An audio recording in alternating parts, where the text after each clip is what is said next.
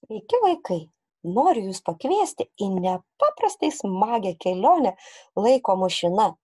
Mes nusikelsime į senovės Romą ir susipažinsime su romėniškų skaitmenų sistema. Taigi pirmin į kelionę. 3, 4, 5, 2. O, kaip įdomu, o kasgi čia? 9, 8, 7, 2, 3, 4. Skaitmenis, skaitmenis, skaitmenis.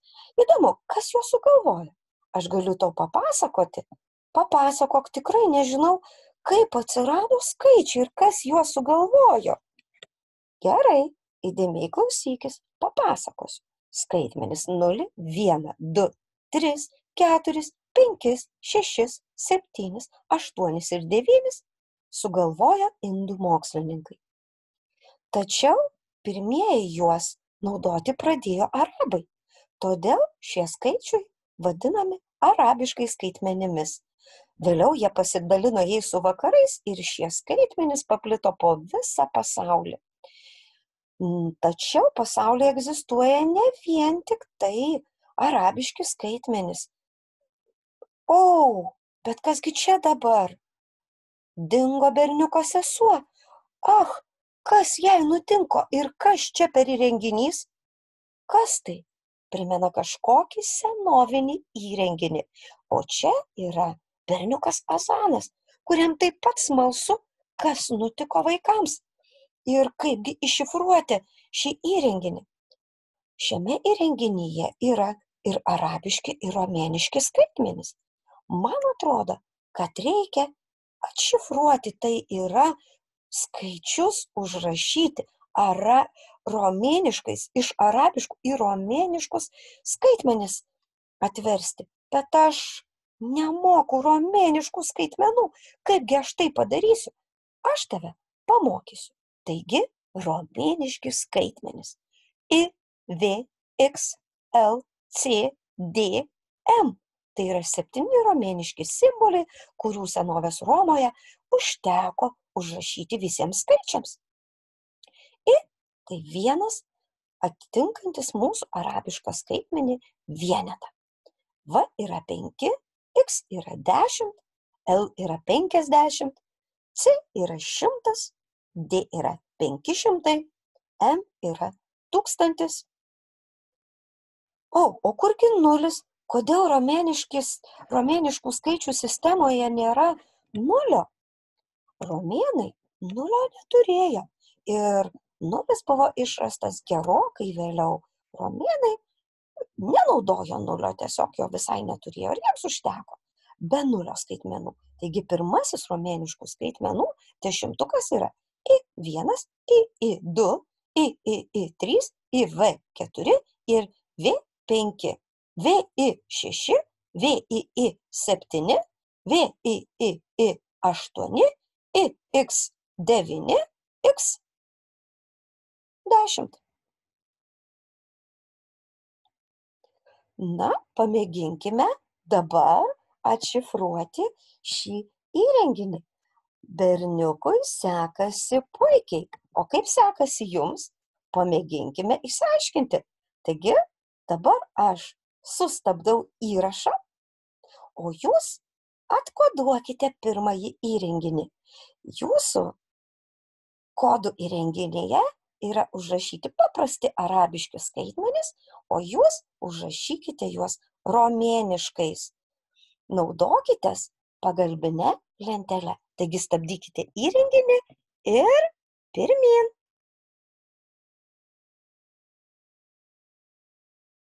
Sveiki sugrįžę. Berniukai sekėsi puikiai. Net neabejoju, kad jums taip pat. Taigi mes dabar galime keliauti į kitą lygį taip ir nutiko mes esame kitame kelionės lygyje ir stovime prieš didingąjį Romos koliziejų, o berniukui ant galvos atsiranda romėniško kario šalmas, taigi keliaujame link Romos koliziejaus, tačiau mus pasitinka rustus sargybinis. Na, gal ir nerustus, tačiau norint keliauti toliau, reikės iššifruoti jau didesnį skaičių žinoma mes pažįstam kad tai keturi šimtai keturiasdešim bet kaipgi užrašyti jį romėniškais skaitmenimis berniukas pabandys 4 tai į V, o 40 x, x, x. O, neteisingai. Kągi netai padarė berniukas? Pasižiūrėkime. Yra kelios, kelios taisyklės, kurios padės geriau pažinti romėniškų skaitmenų sistemą. Pamėginkim labai paprastai išsiaiškinti. I ir I yra kitaip vienas plus vienas yra du. I mes galime kartoti. Kartoti galime ir x. x, x, x yra 10 plus 10 plus 10 yra 30. Tačiau simboliui I, X, C ir M negali kartotis daugiau nei tris kartus. Vadinasi, berniukas suklydo, nes 40 negalime užrašyti x, x, x ir dar kartą x. Penkių mes negalime užrašyti i, i, i, i, i ir i, nes tai kartotųsi daugiau nei tris kartus. O štai simboliai v, l ir d visai negali kartotis. Vadinasi, penkiolikos mes negalime užrašyti v, v ir v. Penkiolika mes užrašysime kiek kitaip. O kaip? Tuoj pat ir išsiaiškinsime. Kantrybės.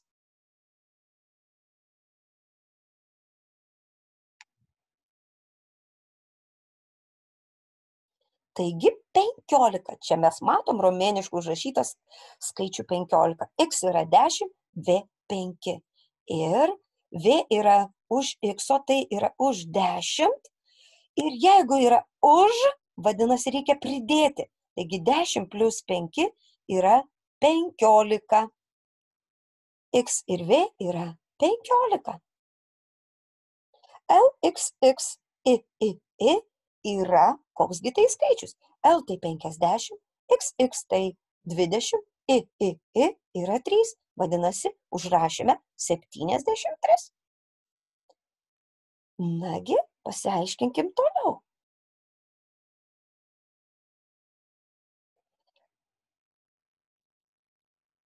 Pasimokysime užrašyti ir antrojo dešimtuko skaičius. Taip pat kodėl užrašome štai šitaip devynis.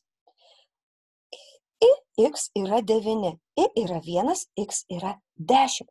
Ir šį kartą i stovi prieš x. Jeigu stovi prieš, reikia atimti. Vadinasi, dešimt atimti vienas yra devyni.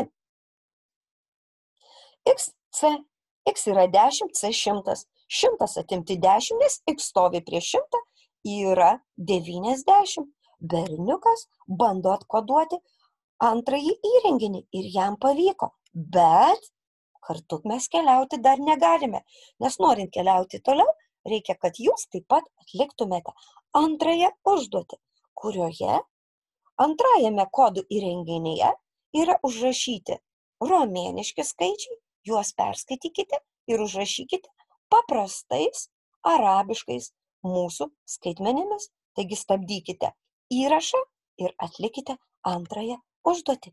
Ir nepamirškite sugrįžti. Sėkmės. Taigi, sveiki sugrįžę ir mes atvėrėme Romos koliziejaus vartus. Romos koliziejuje vyko teatro pasirodymai, vyko gladiatorių kautynės, važnyčiotojų varžybos, tačiau mes neturime laiko, nes mums reikia išvaduoti berniuko sesę. Kurgi ji? Kur ji? Man atrodo, šis sargybinis žino, kur ji. Keliaukime. Ir čia yra dar viena užduotis. Man atrodo, kad ji tikrai nelengva. Kai, o kaipgi seksis berniukui, mes tuoj sužinosime. O aš įrašus sustabdžiau todėl, kad jūsų laukia trečioji užduotis. Bet prieš tai aš noriu pasidalinti ta užduotimi.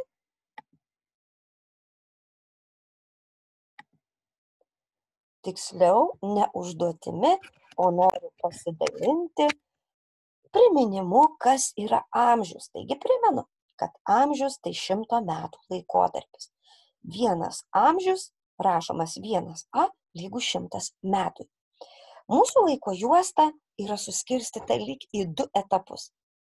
Vienas etapas yra, tai era e, iki Kristaus, kita, kitas etapas yra po Kristaus. Taigi, arba vadinama e, laikotarpis prieš Kristų, arba prieš mūsų erą, arba laikotarpis po Kristaus. Tai yra mūsų eros laikotarpis. Na, o kadagi prasidėjo mūsų era arba laikas prieš Kristų, ogi lygiai prieš 2020 metus. Taigi, lygiai prieš 2020 metus prasidėjo pirmasis amžius ir truko šimtą metų. Ir tai yra pirmasis amžius, kaip matote šitoje lentelėje. Antrasis šimtmetis nuo 101 iki 200 metų ir tai antrasis amžius. O dabar pamokysiu, kaip taisyklingai atpažinti, koks amžius. Jeigu datoje pirmieji skaitmenys sudaro skaičių 11, kaip matome čia, tai yra 12 amžius, vadinasi, amžius bus vienu didesnis. Sudaro skai, skaičių 11, vadinasi, amžius 12.